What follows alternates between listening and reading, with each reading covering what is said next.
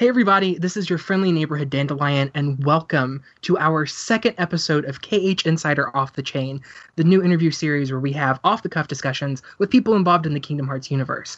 Just like last time, I am joined by my nearly silent producer, engineer, the Ross to my Frasier, which nobody who's listening to this is old enough to get that joke, Rob Carballo, owner Hi. and manager of GeekBeatRadio.com.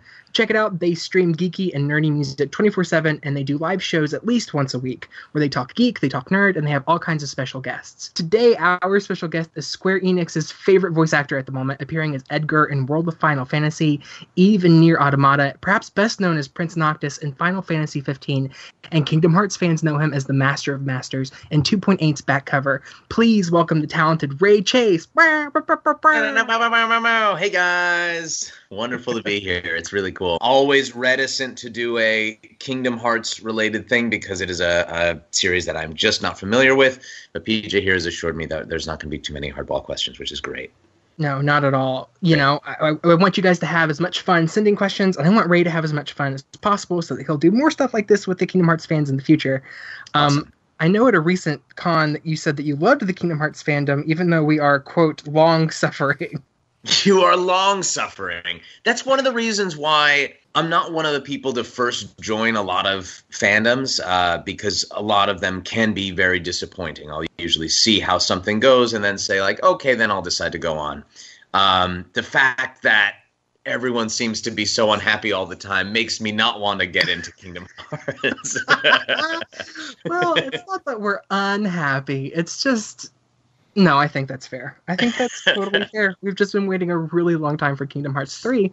yeah, but it's not without some not without some good uh, journeys along the way, which is part of the reason why we're even talking to you is because you got to be in one of those. I did play uh, uh, the mobile game, which was Excellent. Which was good. Um, but then I realized how long it was, and then I said, "Oh, I can't do that." It's impossible Um, for a newcomer. Yeah, to- there's no end, and and then you go to the Reddit, and it's just people again saying how terrible and mad they are, and so you go, "Okay, maybe maybe there's nothing good to come out of this." maybe maybe but you know what i i really love the mobile game. Um the story of it i think is my favorite in the series. I wish that it were on a console and easier for newcomers to dive into so they could catch up but that makes me really happy that back cover happened in the first place to kind of catch some people up with some aspects of it and to get to hear the voices of characters that we see in the mobile game. I wanted to open up this question um I don't think anybody has ever asked you this before, and it's a little intrusive. So I'm so sorry. If you're uncomfortable with it, we can nix it out uh, when we edit it in post. But I want you to be prepared for this, okay? Let's do it. Like I said, I don't think anyone's asked you this before, so you know you can take your time answering it. Okay, so Ray Chase, what is in the box? Ah. I'm sorry, I'm sorry. Yeah, I yeah, uh, no idea. It's one of those things where we just do when we record that uh, for the game or for the movie rather. Um, because it's just a movie, you don't need to know what's going on. You just go line by line by line, and then they direct you how they direct you, and so you're able to do that. With a game, that's harder because there's thousands and thousands of lines, so you kind of have to really know what the heck is going on. But yeah, for for Kingdom Hearts, it was very much. Uh, if I had a question, it was just uh, it's it's kept under wraps, and for a good reason because everyone wants to know. It increases the uh, increases the hype. There were some guesses on on Facebook. Someone said, "I bet it's a whole trunk full of Reese's Puff cereal." I'm like, mm, Okay. that would be in character with a master to have nothing really be in it. That Absolutely. would be what you would do. Yeah. I feel like it's kind of like the briefcase in Pulp. yes, exactly. In Very Pulp Fiction, like yeah, that. a MacGuffin, as it were. Uh, yeah, a MacGuffin, exactly. Um, so let's go into your background a little bit. It says on Wikipedia that you were born in New Jersey, but your hometown is Las Vegas. That is true. Yes. I can't really imagine Las Vegas being a kind of. I, I think it's probably because I'm oversaturated with like the media image of Vegas Mhm. casinos and whatnot. But I can't imagine what it would be like to grow up there. So what Well- what was the childhood like for Sweet Baby Ray? For Sweet Baby Ray was only in New Jersey, but uh, Child Ray was in Vegas, uh, and I went to all primary school, middle school, high school there. I went to college in at USC in LA, but uh, spent most of my years in Las Vegas. It was I was uh, in a place called um, Summerlin, which is in the northwest side of town, um, and it was it was the fastest growing city in the U.S. Uh, during the '90s while I was there. So it was everything was new there was tons of families moving in from back east. Well, my family was one of them, and it was a lot of just new stuff. And then, like, we lived on the edge of town, so we lived. And now it's not the edge of town. It used to be my uh, our our little housing development uh, was there, and then the desert was on the other side of it. Um, since then, the city's grown a, a, little bit more towards the mountains in Red Rock and the west side of town. Um, but it it uh, it wasn't as sin like as you would believe because you grew up in it. Because right. it was it was a thing you would go to the strip just to get dinner. It was not a thing to oh my god go go have a crazy time. It was just oh, what are we going to do? Let's see a magic show. There were theme parks on the strip. Um, MGM had this amazing theme park. They had the Circus, Cir- excuse me, the Circus Circus, um, Adventure Dome, and stuff like that. Uh, Wet and Wild, right. all these like amazing kid-friendly attractions that have since gone the way of the dinosaur because we've been now Vegas is more of a young person city. So right. the Palms and stuff like that. It's much more party friendly, but not necessarily gambling. Not, like that's not even what people go there for. As um, a, a youngster, were you big into cartoons? Did did any of that kind of theatricality, whether it be in animation, acting, and television theater, when did that really first start to get its hooks into you? I mean, absolutely from the beginning. That's all I watched were cartoons, um, and uh, and I played video games, which didn't have voices back then. But then uh, once I was a a teenager and N64 came out, then you started to see finally, oh wow, Mario can talk, and and video games are are a place where you can actually have voices. Um, mm. That was those were all during my formative years. So yeah, I definitely grew up steeped heavily in that sort of stuff. Um, Cartoon Network I watched mostly, and then stuff like the the Critic was a, a big favorite show of mine, uh, and um, and even like Mystery Science Theater because that's that is voiceover. Robbie said in an interview, Robbie Daymond, not too long ago, he said that for him, the formative video game experience where he realized, oh, this is how this is evolving, and all video games are going to be fully voice acted and they're going to take their time, and this is a thing now, was Final Fantasy X. 10, um, right. And for me, it was Kingdom Hearts, which came out like a year after Final Fantasy X. Mm-hmm. Do you, which video game was your like shake up where it was like, oh, this is this is a career. This is something that could actually happen to me. Honestly, it was not a video game. I never really thought of that as a, a, a viable way of, of making a living because it was so, it was still rare. It was still not something right. that happened a whole lot. So it wasn't, um, or they, or they had other ways of doing it. Like I played a lot of, of uh, Banjo Kazooie and stuff where it's, it's that that garbled speech, and you saw a lot of garbled speech stuff that was coming out at the time. Like right, the they're they're doing like efforts like and voice box. Yeah. yeah. so you had those kind of things, and so you didn't know which way it was going to go. And uh, but I did know that I really loved theater and film and stuff like that. So that was what I was set on, and uh, and and animation, and going like, well, okay, this is what this is what I know I can do. It wasn't until I graduated college, really, and I started getting auditions for stuff that you were like, oh, wait a minute, you can actually, these aren't jobs that you can get, and you can audition, and normal people can audition for these. These aren't some sort of secret, sequestered, um, uh, Illuminati type secret, Illuminati type sort of stuff. this is, uh, hey, you can you can just get these jobs and you get paid a couple hundred bucks, and and that's great. So that's where I started to really learn about it. And I started working in apps at the very beginning. Those were most of my early credits uh, were things like uh, Kick the Buddy and uh, uh Death Rally and uh, what was the other my my one of my favorites um, was the Zelda clone kind of thing, uh, Oceanhorn. That was a really oh. Yeah, yeah, yeah, yeah. It's since been released on Steam. Really fun. It was a it was basically like a Zelda game before Nintendo finally started getting their act together and putting out uh, games for mobile platforms. So moving back to um, college really quick in USC, did you study theater? Yes, theater and a film minor. Uh, so I heard a story that you met and kind of hung out with Mark Hamill while you were doing a show. This is true. Uh, yes, I saw. Uh, that was in my senior year. I did Brigadoon, and he came to see it. I was uh, one of the main characters, and uh, for whatever reason, he really liked me and uh, and my performance, and we just hung out and walked around with his family around the grounds of USC.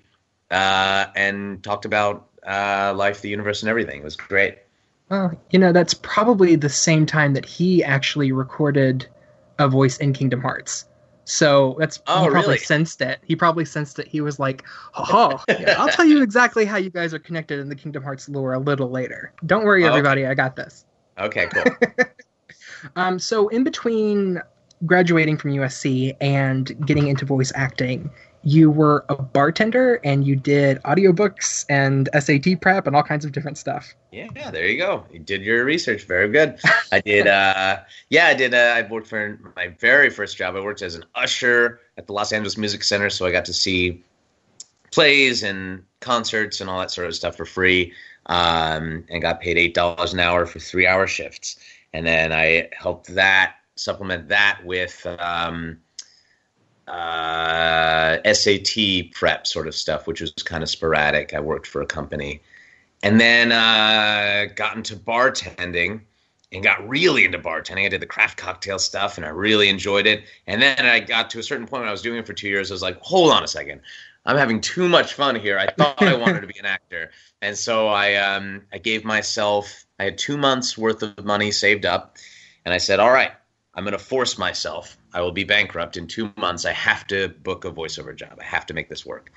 And I feel like that really helped me really focus on it when you do you have nothing but time to spend on going after your dream and nothing else so every day and you have a deadline i think you get really really motivated so uh, that one i booked uh, at the very end of the two months i had booked uh, uh, these uh, coke zero campaigns and those those lasted for like three years it was a huge lucky strike i mean that was crazy looking back like that, that never happens um, Yeah.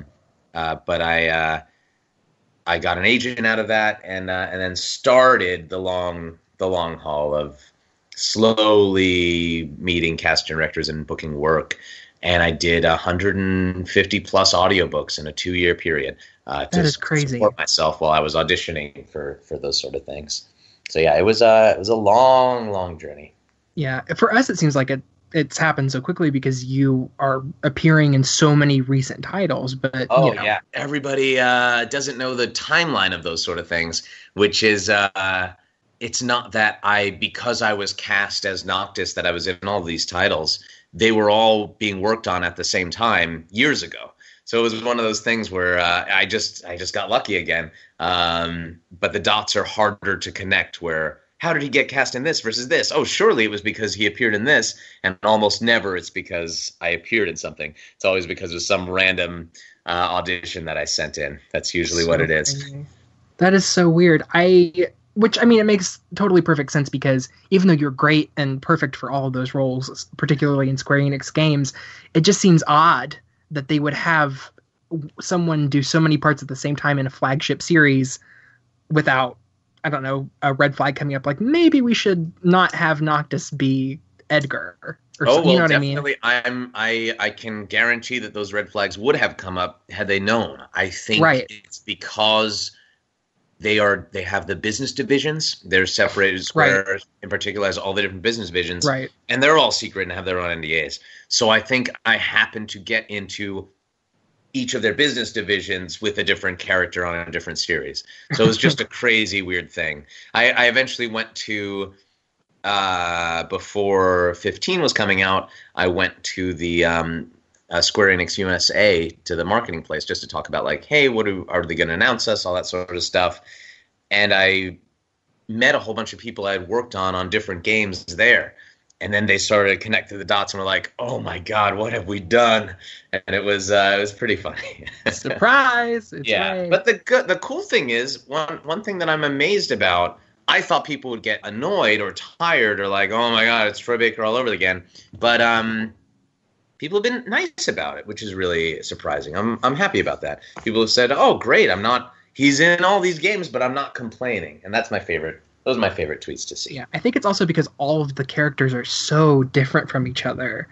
Oh Um, yeah, I'm not using the same voice. Yeah, no, that not at all. You're super versatile, and just the character, like you're not playing an archetype from character to character either. Yeah, I happen to be do all these different types of characters. You're right. You're right. That helps. So Yeah, I think it's really exciting. I remember, I can remember watching the Uncovered event when they were announcing all the Final Fantasy 15 tie-ins and the release date and everything, and and at the end of it going, okay, but who is playing the characters? Oh Like, yeah. I remember being so upset by that. It was like, well, why? Because at that point, I think we even knew who the French dubbers were of oh those my characters, gosh. but I was like, yes. why don't we know the English people? Like Yeah. at that point, I think people recognized that Robbie was Prompto, but other than that, it was like, Yeah. who is pl- It was why? all unknowns. Yeah, we were all unknowns. Um, and Robbie, it was only because uh, of uh, Sorey, because Zestiria came out, and then everybody figured it out. Oh, okay, because he was using pretty much the same voice. Um, and then even then, the episode Duscae demo, the voice that you used for Noctis was, I mean, famously, it was different. Most people don't know it's the same guy. yeah, a lot of people were like, "What?" And I can remember shortly after Uncovered E3 happened, and at that point we got our first trailer for Kingdom Hearts 2.8, and the Master of Masters was in it, but I could not recognize the voice. And at that point, I had heard just enough of Noctis to start for your voice to be familiar, but it was it's your actual voice as opposed to Noct's younger voice. Correct. Yeah. And it, it wasn't until the very last trailer, which was the month before release, where the master says um, something like, You'll have to go alone from here on out. He says it in kind of a, a snarky, like higher voice. Yeah. And I was like, That's Noctis. That's Ray Yes. Chase. They got Ray Chase to do it. but it was another month. And I went back and watched interviews, and they had mentioned Kingdom Hearts to you in passing. And you get this look like, Don't do it. Don't say anything don't tell anybody. At one point, like I think Robbie even jokes with you and was like, "Oh, haven't you heard a callback for Kingdom Hearts?" And you like bite your lip, and I'm like, "Oh, it's him. I know it's him." That's hilarious. Oh my gosh, that is very funny. Uh, good job, good job, past me for keeping it a secret. so the hardest part about this job. I bet a lot of people ask, you know, what it was like to actually go to conventions and talk about different things, like One Punch Man, or be in the audience for different conventions and not get to talk about the biggest JRPG coming out, Final Fantasy 15, or about Kingdom Hearts, or about anything. And some actors don't care. Like Jesse McCartney has been in a bunch of the Kingdom Hearts series, and every time, every time he's in a Kingdom Hearts game, he posts a picture, like an Instagram picture of himself in the booth, and you can see Kingdom Hearts on the screen. And it's like, Jesse, how is Disney not firing you or slapping you with fines right now? every time. What I want to ask you now is time frame because obviously you were working all these things together Nier automata final fantasy 15 world of final fantasy and kingdom hearts Mhm. so which came first i'm assuming final fantasy 15 in 2014 was when you started 2014, uh, we started in October of 2014. That was when Duscae we started that. Let me pull up my little uh, Excel sheet. Aw, If you if you want to do this as a career, it really helps to have an Excel sheet of all the things you've worked on.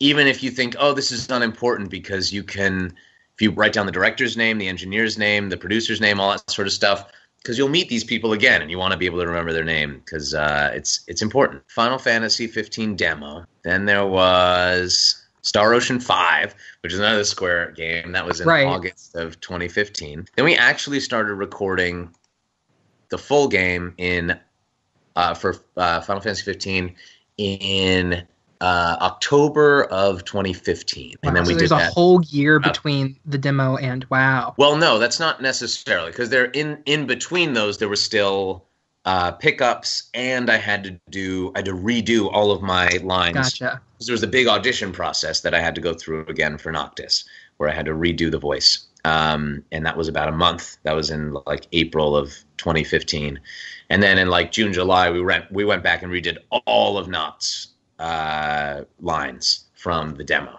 in the new voice. So that was a big deal. So then that's when we started. Then we worked on pretty much all the way through the the year, from October all the way through.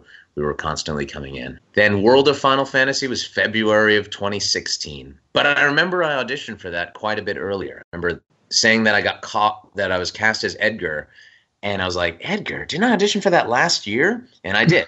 uh, it was it was a ways back, uh, but that was in February of 2016. I worked on that. Nier was pretty close to the end. Uh, Nier was August of 2016. wow Worked on that.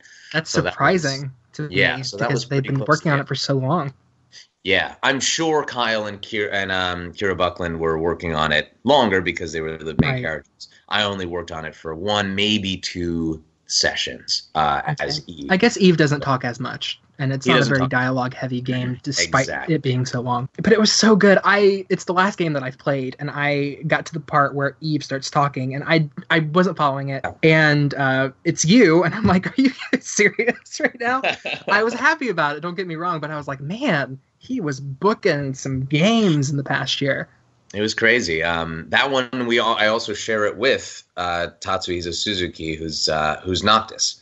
Right. Uh, so I think that might have had something to do with why I was cast. Maybe, Yeah. I they did not know I was at that point because that was still that was August.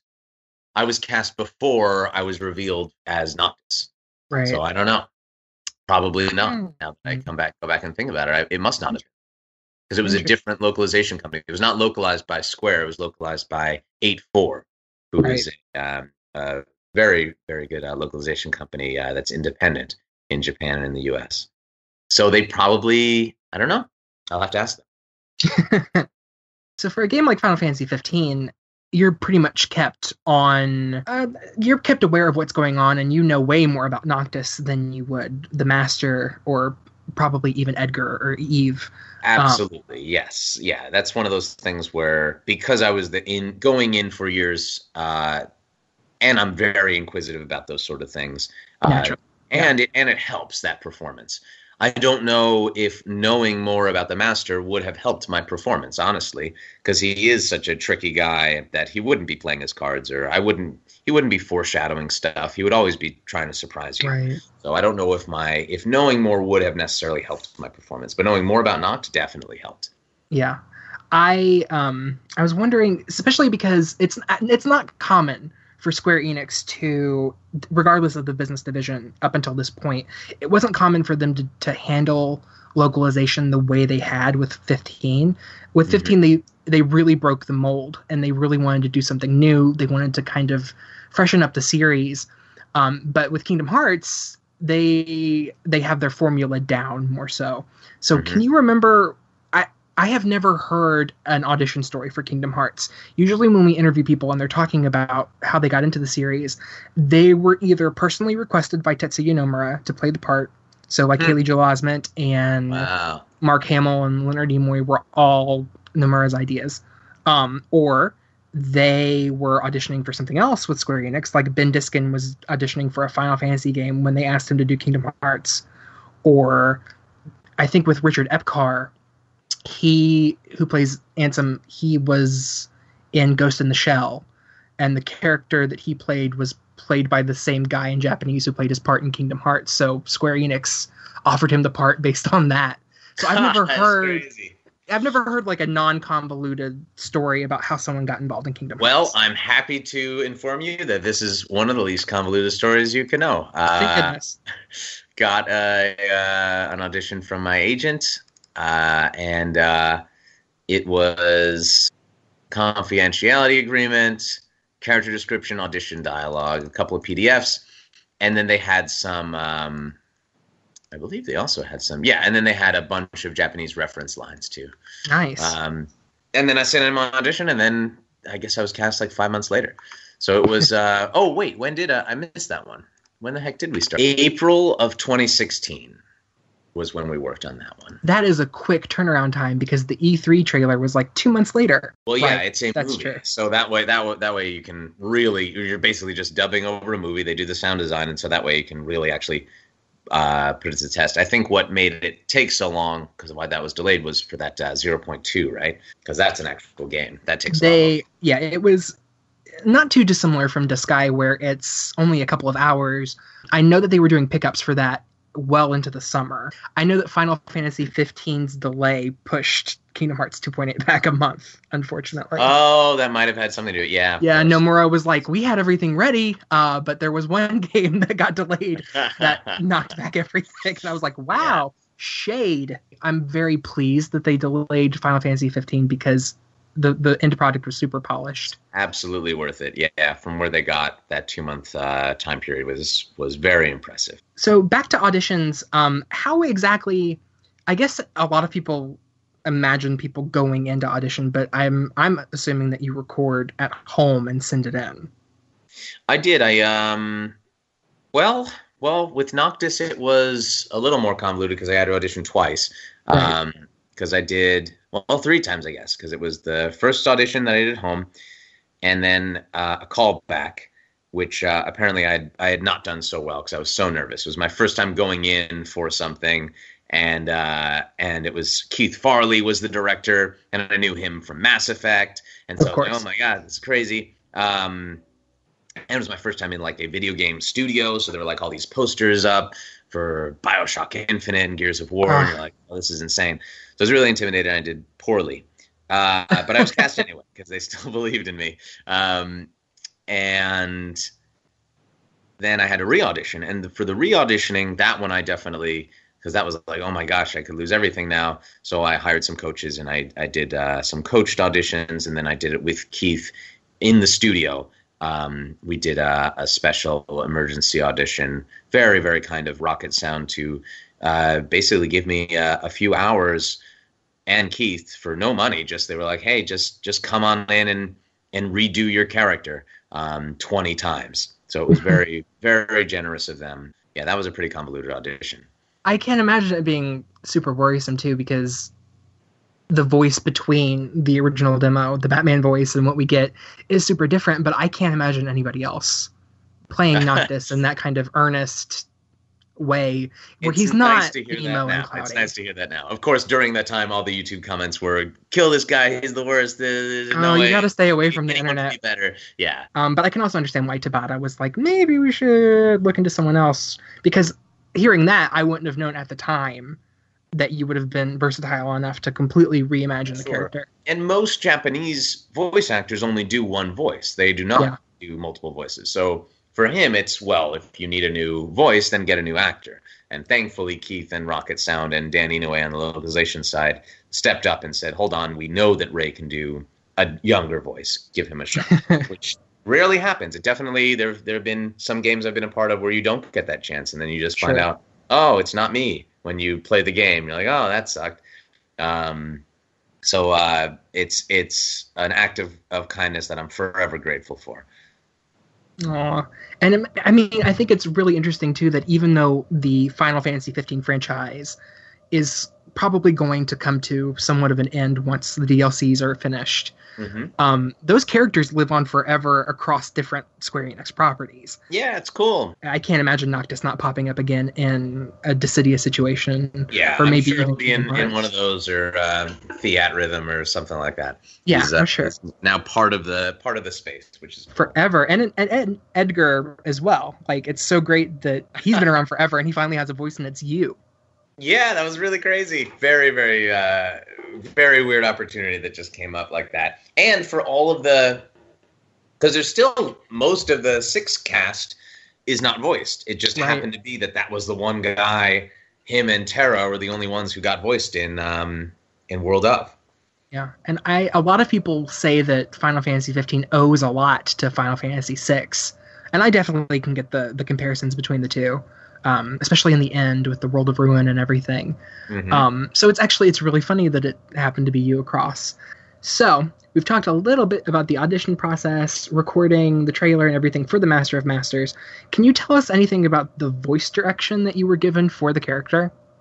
Well, that was a hard one because uh, Matt Mercer and I sound so similar, and he's in it, and they recorded him first. And my first scene was uh, me and Ira talking, and so it was a bit of a challenge to differentiate the voices.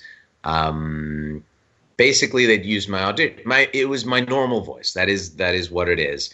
And so they said, well, maybe you can be a little more mature. So uh, it so I'm kind of deeper in those uh, in the Ira scenes. Um, and that was that was uh, as soon as that started happening, I was like, oh my god, I'm gonna be recast. It's all happening all over again. Um, thankfully, they uh, they kept going with it, which was very very nice. Um, but that was a uh, that was a challenge right at the beginning, and then once we started going, it was it was great because all the jokes were funny, and so you could just all you had to do was say what was on the page and and make it interesting and fun and and match his. Yeah, So you don't you have to worry about lip flaps with him for one thing. Thankfully not. they did record my face while I um, while I recorded. They there was a camera on me at all times um, to do lip flaps. Um, uh, but the joke was that he has, he has nothing. But they said just in case, maybe someday we'll put a, a mouth there or something. Okay, so we are going to start a new segment with you called Filling in the Blank Points. And the reason why we're doing this is because I know that Square Enix keeps a lot of their voice actors in the dark, and usually the fanatics of the Kingdom Hearts series know more about the characters and the lore than the actors do. Mm-hmm. And you told me earlier that you have never, aside from 0.2, you haven't really played Kingdom Hearts. You didn't know much about it before being cast. Correct. So I'm going to give you a crash course about what I know about the Master of Masters in the Kingdom Hearts series. In Kingdom Hearts Key, which became Unchained Key, which became Union Cross, which is the mobile game that the Master of Masters first I shows up in. that. Yeah, but I That one never met. I don't think. No, he he's not really in it in it until now. Like it's just happening that he's popping Okay. up. Um, so that's the beginning of the Kingdom Hearts timeline. It happens hundreds, if not thousands, of years before the first game, um, and it's from the vantage point of the Master of Masters' six apprentices. So the funny thing about the Master's apprentices is that they're all named after the seven deadly sins. Right. Luxu is short for Luxuria, which is lust. Gula is gluttony. Ava is Avaritia, greed. Acedia is Aced, which is sloth. Ira is wrath. And Invidia is envy. So the last sin is unaccounted for, which is the seventh. And he says at the very beginning of back cover, I'm one of the seven. So a lot of people are assuming that the Master of Masters is standing in the place of pride, which is called Superbia. hmm All signs point to the Master being the embodiment of pride. The no-name Keyblade that he gives to Luxu has a chimera on it, with the head of a lion and the horns of a goat. Now, all the foretellers, their unions are different animals, and each of those animals correspond to the seven deadly sins in various literature, whether it be Dante or different holy scripts. The goat is the symbol for lust, which is Luxu, and a lion, which is most commonly associated with pride. So it makes sense that the chimera, the horn of rams, is Ah, the animal that's hidden on that keyblade. So Ah. it, because it represents the relationship between Luxu and the master. We also know that the box that the master gives to Luxu has an engravement on the top that you have to be very careful to pause at the right frame and see. It has the Greek letter chi, which is read as key in the Kingdom Hearts world, a hyphen, and the word super. So it's looking pretty likely that the Master of Masters' name is Superbia or some variant of that. hmm Cool. So yeah, the Master apparently is not going to appear in Kingdom Hearts 3, which is dumb because he's one of the best characters that's happened in the past couple of years. Ah, thanks. He's definitely one of my favorites. I hope that if he's not in 3, that he's at least in the next saga because this ser- the Kingdom Hearts 3 is supposed to be the last game where the main villain is Xehanort, who is the villain of all of the Kingdom Hearts series. So hopefully from here on out, if there's a new villain, it is the Master, but who knows if he's a villain? Who knows what his intentions are? Um, but we do know that the box is still around, and one of the characters in Kingdom Hearts 3 is looking for it. So whatever is in it is going to be a focal point for the end of the of the saga. Um, Yeah. And so another interesting thing is that the Keyblade that that the master gives to Luxu, he says, "My eye is in it. Pass it down to your apprentice and him to his, so that I can see the future." The Keyblade ends up in the care of a master who has two apprentices. Their names are Eraqus and Xehanort. Eraqus is played by Mark Hamill, and his Mm. brother apprentice Xehanort is played by Leonard Nimoy, who sadly passed away. And Master Xehanort ends up getting the Keyblade. So a lot of people are thinking, did the Master know this? Is the Master behind all the bad things that have happened in Kingdom Hearts? And Eraqus is his whole thing is trying to undo it. So it's it's really interesting to see where the apprentices have gone and what's ended up happening. Another really funny thing is that the young version of Xehanort, who wants that Keyblade, is played by Ben Diskin, who I believe is a buddy of yours. Yeah, yeah. He's awesome. He is pretty awesome. We interviewed him a couple of years ago, I think, and he did the trailer for Kingdom Hearts 3 that happened like 2 years ago. Cool. So it's actually it's so that's pretty much everything I know about the Master of Masters. And he has a lot of explaining to do. My question, here's my question. Yeah, why why does why does why does he have apprentice? Like what is he? My it's not even why they turned out or all this stuff or the characters. It's just why is this the society that we live in? That there's keyblades that must be passed on through a series of apprenticeships with a That's guy good in a question. coat and everybody wears a mask. I guess that's, That's my question. that I haven't seen answered anywhere. There, there really isn't much of one. Um, we all we know is that he told his apprentices to divide, create unions, and get apprentices of themselves. Um, and I don't know why the secrecy. I don't know, especially if those characters aren't appearing in Kingdom Hearts three. I don't understand why we haven't seen any of their faces or know more about their circumstances. Especially now, because in the mobile game, I mean, spoilers to anybody who's not caught up with um, Unchained Key and Union Across. But in the mobile game, the war is over, so they're all dead, and now it's their apprentices. So I, I have, I honestly have no idea why we don't know why they're so secretive. I have no idea. Strange, yeah, it's a strange story that comes before everything.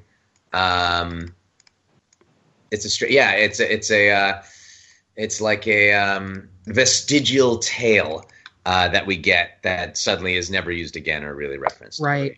I think that the whole reason why we even got the movie in the first place was it was kind of Nomura's way of saying these people, what's important is their roles, not who they are. Yeah. And so what you're getting is a little extra, I think. gotcha. But Yeah. I'm not sure. I, I could be totally wrong. It could become important years from now. But that's what I know. Gotcha. Cool.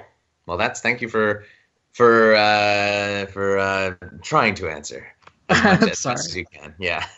I guess the master became the student today. yeah. Waka waka waka waka. yeah. So I think that covers it with Kingdom Hearts and with my personal questions. So now I'm going to open it up to the fan questions that we've been collecting across the internet. Oh, nice. Great. Okay. So uh, first one that we have here is by a user named uh, Maxiel Star OA, and they say, "Hey Ray, I would love to know which character you enjoyed dubbing the most: Noctis, the Master of Masters, or Eve." Oh, that's an easy question, Max, uh, for, for many different reasons. Um, definitely Noctis, uh, because that's he's always my favorite character, just because you were able to stay with someone for years and really get to know them and, and see them in all sorts of different situations. Um, Eve, while Nier is one of the best games ever made, So uh, just playing the screaming part for hours on end was really hard because he's really he's transforming and screaming and angry and and anguished. So you're at a ten out of ten for for a few hours. So that was that was really rough It's on rough. me uh, physically. Um, uh, and Master Master is really really fun. Uh, it's just uh, it was just hard to because everything is all already done before you. It's it's it's tough to make the lines fit his motions, which fit for a Japanese phrasing. So you had to kind of like redo a lot of the lines, or they were they were retranslating a lot of the lines to go like, oh well, I guess this doesn't work with this hand gesture at the end, so let's try it again another way. So that was kind of it was fun. It was a really cool character, but actually working on it was was pretty tough. He's so funny. I think one of my favorite things is the different voices that he does, like when he's mimicking people. Oh, yeah, it was fun. Yeah, it was really really fun that they uh, So they gave me a chance to do that. I think another really funny thing is that um, we were trying to figure out forever before the game came out because we only heard his line once, who Luxu was, and it's like your BFF Max Mittelman. It, That was the craziest one of those crazy coincidences that you just go, "Wow, that's amazing." Did you he guys not know until it came out that that's what happened? Oh no, we knew um we knew going into it because we we would see each other at the studio. We were both going in for it or something. Um, uh, but that was I know that he was requested for that. Uh, he didn't audition. They just they just brought him. in. Wow. But see, it's another example of characters being requested. That's so weird. Yeah. Hopefully, we can interview him and see what the story is about that. Oh, I'm sure he knows even less. Uh, it's uh, you're gonna get even less out of him. Eh, so it's it's always Yeah. fun to talk to Saitama. Yes, absolutely. He'd be happy to Oh. talk about all that stuff. Um, I also meant to congratulate you guys much earlier. Last night, you beat cancer. We beat cancer. We were actually amazed that because we kind of just set an arbitrary amount, and we were amazed that a thousand dollars we did it within like an hour and a half. We raised that much money. So next week we'll see if we can raise even more. That'd be amazing. Super impressive. That's the next question, actually. How did you guys come up with the concept and the name for Loud Annoying and Very Annoying, which is the Twitch show that they do um, with with uh, Robbie Daymond and Max Mittelman. Mm-hmm. Every week uh, at Loud Annoying on Twitch, and um, it's a uh, we did it we did it for conventions because we wanted a show excuse me a show that we could just bring to conventions and do. So we made a live show and we do that at conventions. It's like an anime improv sort of sketch comedy musical thing. And then one day we sat down to play final fantasy with adam croasdell who's ignis and it became super popular and successful. And we were like oh i guess we should be doing this every week too. So we already had the name and the show already put together and the three of us hanging out all the time. So it was just natural that it would evolve into a twitch channel as well. Uh, for the next couple of months they are doing an overwatch themed uh, series of programming where they have different actors who've been in the Overwatch series come and play the game and play their characters. So if you guys are into Overwatch, go check out Twitch at Loud Annoying and you'll see their whole schedule and when they stream and everything. I don't know when this is going up, but next week they've got Chris Parsons on, who is also the voice of Gladio in Final Fantasy 15 and a very hard guy to get a hold of. Yes, he. Uh, yeah, he's he's uh, he's quite shy in this sort of community. He's also Junkrat, so he's got quite Yes. an amazing range. Very very good. It, it'll be great. So you guys will be playing with Junkrat and you'll be playing episode Gladio, I'm assuming. Yes, absolutely. So that should be fun. Um, let's see, Oh, what's yeah. the next question? Oh, uh, BCZP, which I I'm assuming that that's how they want me to say it because it's just letters. Um, this is a says, how do you prepare for a role with a character who has no facial expressions? How do you prepare for it? I'm assuming that they're talking about the master. Yeah, yeah, definitely. Um, well, unfortunately, no no preparation usually with video games. You just go in and then they give you the script. Um, but it helps because while he doesn't have any facial expressions, he does have a lot of sweeping hand gestures. Right. So that's something that you can really get into what the character's all about by the way he moves, because he certainly moves in a very specific way. I think I heard you say in an interview once, and correct me if I'm wrong, but you said something like, if you were to ever show up somewhere cosplaying as one of the characters, you would want to do the master because he doesn't have a face. Because yeah, nobody would know. It'd be really fun. Well, uh, in light of that, I was actually I took the liberty of drawing a quick sketch of what you would look like as the master of masters. It's hanging out in the group chat right now. oh, perfect. Let me check it out. Whoa, what the heck? It's actually a picture. It's an actual picture of I you as, the master of masters. Wow, let me see. I can't see it very well. Let's see. Oh, there it is. Wow. Did you make this? I did. Wow, that is amazing. With the eye patch too. That is just perfect. That is really, really good. Thank you. I uh, I have to say that's uh, that's correct. That's uh, that's a, a really good job. I thought you were just gonna do a joke and just put a picture of the master, but uh, Is it not a joke? something. Oh, that would have been hilarious if I. ugh, I shouldn't have gone to all the effort then. Womp, womp, womp. it's really nice. Go ahead and tweet that. That's great. Okay. Um, when you were at a convention a couple weeks ago and unfortunately had to have an eye patch on, I was just like, oh, now I have to draw him with an eye patch and the master robe because the master's got one eye now. So I thought that was hilarious. Oh, I didn't even catch that. Of course, because his eyes in the keyblade. Wow. Like, Very smart. waka waka waka. Wow. Got a pretty funny one here from Where Magnus on Twitter. Ray, how do you feel about the idea of the Final Fantasy 15 crew being in Kingdom Hearts 3, but instead of driving the Regalia, they have to drive Lightning McQueen from Pixar's Cars? Oh man, that would be uh, that'd be pretty wild. I don't know if the two, because usually I do know if you go to a world in, in Kingdom Hearts, they don't connect, right? Like Beauty and the Beast doesn't talk to Hercules, right? No, the well, the funny thing is that the Kingdom Hearts characters sometimes the Disney characters interact with each other if they're not in the same franchise, but the Square Enix characters Okay. kind of pop in wherever they want. So like Cloud is in the Hercules world. Oh, okay. So then, yeah, this could happen. I think happen. that'd be uh, that'd be pretty amazing. It'd be very. so going off of that with a more serious thing, um, if Noctis is in Kingdom Hearts at some point, because uh, recently Famitsu did like a full spread for the anniversary of Kingdom Hearts where they pulled Japanese fans to see which characters they would like to appear. Noctis, of course, was you know on the top. So if he were to appear in Kingdom Hearts, And if you can imagine him in a Disney world, what world do you think it would be fun to see him in? um, And this can be any Disney franchise, so don't worry if it, if you know if it's in Kingdom Hearts yet or not. um, where would not want to go? I don't know. I think he would. He would want to be in like Hunchback of Notre Dame. I think he those those towering spires and stuff like that kind of remind me of Insomnia. He might Oh. feel a little at home at uh, in Paris. I think I'd choose Yeah, I that. could see I could really see him bouncing off the cathedral exactly. warping. Yeah. That would be great. Yeah. I also think it would be fun to shove him in a non-serious world where he would have no choice but to just deal with With all the, wackiness. yeah, the humor, oh the gosh, whimsy. What am I doing here? Yeah. Ah, you guys are so silly. Stop it. Yeah. Oh, now I'm imagining Noctis and Winnie the Pooh. Yes, that'd be so very that funny. would be hilarious. Well, the funny thing is that um, Noctis was created by Tetsuya Nomura back when Final Fantasy 15 was Final Fantasy Yes. versus 13, um, and Noctis was actually created to be kind of a foil to Kingdom Hearts' main character Sora.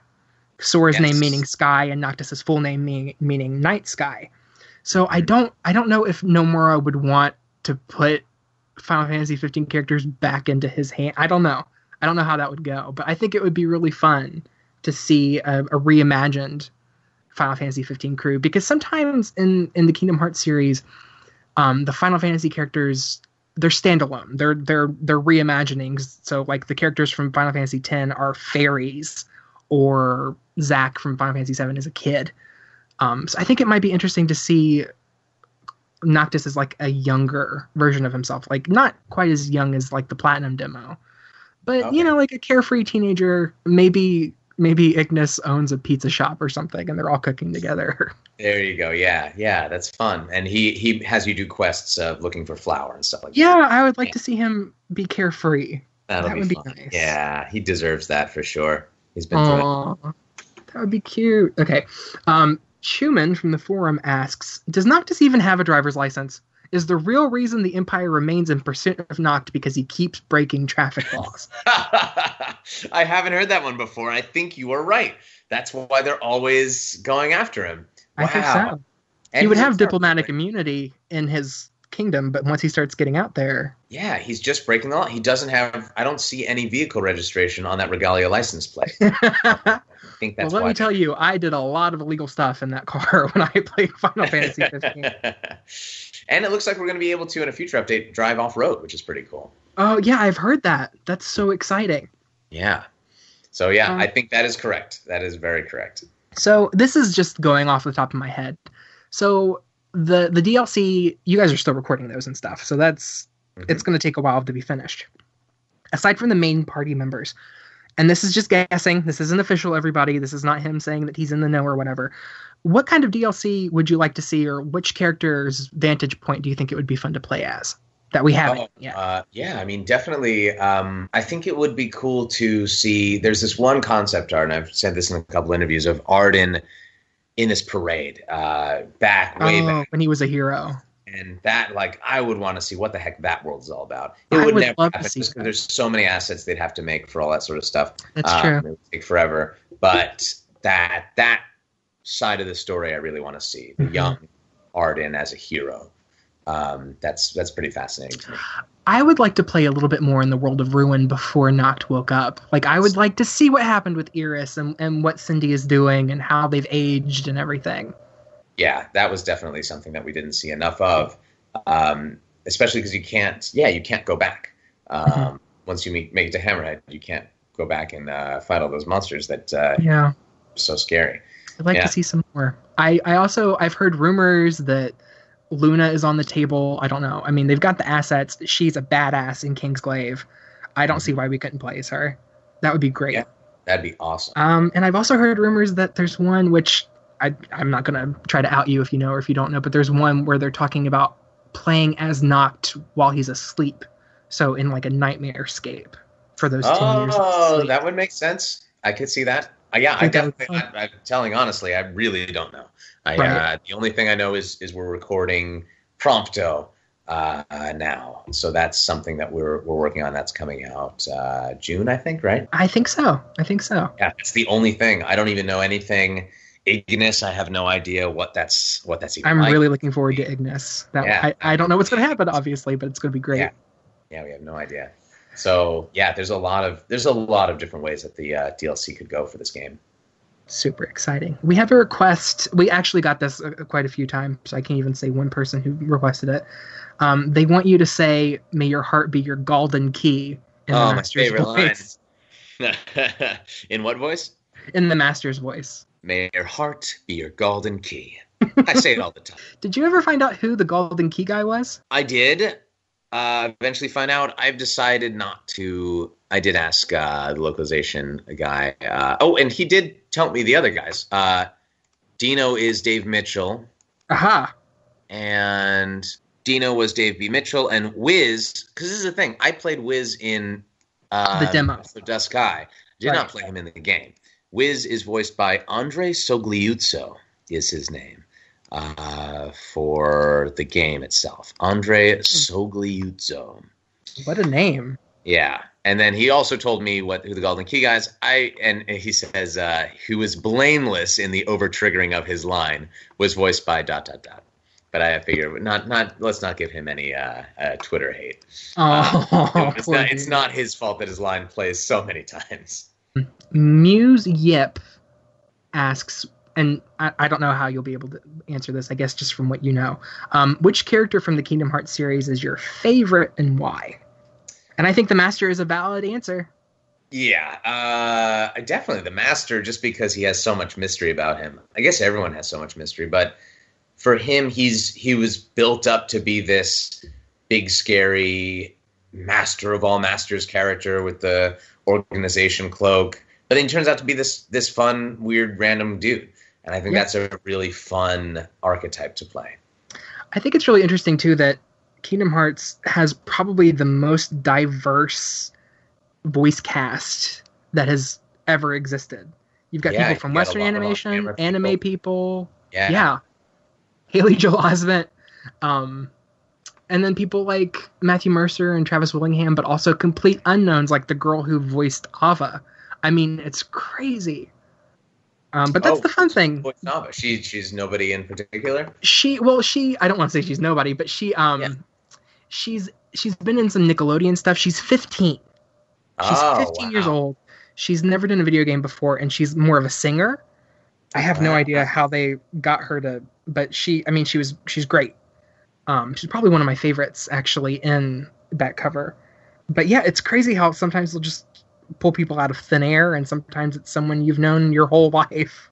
Yeah, that's cool. So someone actually asked, keeping that in mind, um, out of all the people that you've worked with, and I'm sure that being an anime or video game voiceover artist, you actually don't get to work with that many people like in the booth. That's exactly what I was going to say. I haven't worked with anybody other than one session I did with Jim Peary, who plays Regis. That was the only time I've ever worked with someone in the booth. Other than that, never as it Interesting. So, who would you like to work with? Either people who have been in projects with you, or someone who you've been a fan of. Who would you like to work with, like one on? I mean, yeah, I would really just like to work with Max and Robbie on something. That'd be really freaking cool. Uh, it's never we've been in so many things together, but never I've never been in the booth with those guys. So oh. that's something that I would. That's a personal goal of mine is, is work with my close friends. That would be really. Fun. It's it's hard in localization because you're dubbing and they have to be so concentrated on you yeah. overtaking what's there before, as opposed to in something in Western animation, you guys can yeah. all be together. I hope that happens. Um, I would love for Robbie to get in Kingdom Hearts because he's the only one who who isn't apparently. It's true, yeah. So we Save can grab him on here and have him on here. I think yeah. so. I, I think he's got a good shot. He's got one of those voices. So wrapping it up, what is your advice to aspiring young voice actors? Um, well, the I guess the, the most important thing is patience. Uh, I remember coming out of college and saying like, "Oh my gosh, I got to start working. I got to start getting stuff." And what you what I've learned these past couple of years is even if you have stuff, because it took me like eight years to get here, even if you have stuff that you have worked on, it still takes years for it to even come out, for you to take credit for it, um, that sort of stuff. So patience i think is the most important thing that was that has been my my motto for the last couple of years just learning that yeah and sometimes you're uncredited even when it does come out Yes, So that that's fun. happens a lot. So Anyone on IMDb who can help me get my credit in Horizon Zero Dawn, I'd love that because I'm trying and it's not Oh. going through. I don't understand.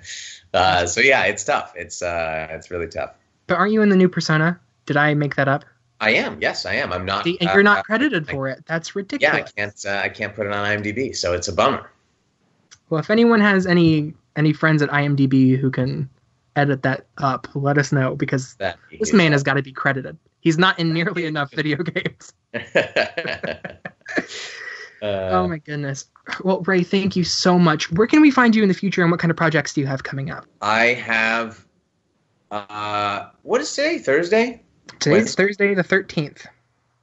Well, I'll say keep an ear out for me uh, this Saturday uh, for an anime premiere for Blue Exorcist. I will be in that. I won't reveal who I am yet, but uh, I did get cast in that show, which is very nice.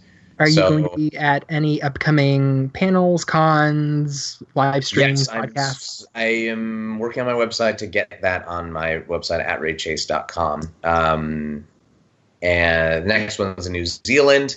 And then after that, I have MetroCon, Edmonton, and San Japan for the rest of the year.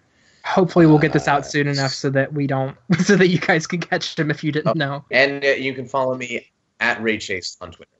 That's great. Also, you have an amazing website. I love the banner art. Who did that? Um, Her name is very confusing. Let's see if I if I Google her, I can get to her. Yeah, it's Ainsley Askew uh, is her name. I don't think that's her real name, right. uh, but Cat Ghost is usually what she goes under on her. Uh, if you search up Cat Ghost, you'll find all of her pixel art. I'm a big pixel art fan, so I, I found her and I really liked her.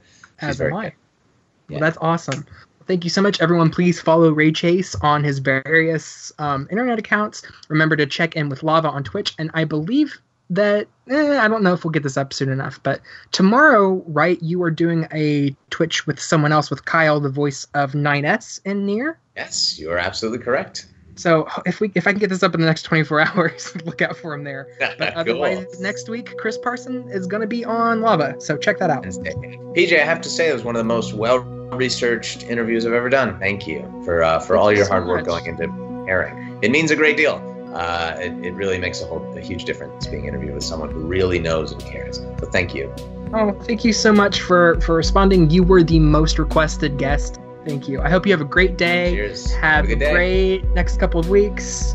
I'll talk to you later. Bye. Alright, guys, that'll be it for another episode of Off the Chain. Thanks again to our special guest, Ray Chase. I don't know if you guys could tell, but I was so nervous.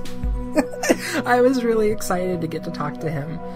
Thank you, Ray. It was truly a pleasure. Hopefully, we can get you on again, maybe next time with the rest of the Lava crew.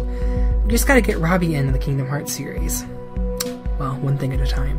So if you guys want to follow me on Twitter, you can by following at KHI Dandelion. And you can use Twitter to suggest uh, special guests for next time. You can also just use the hashtag off the chain.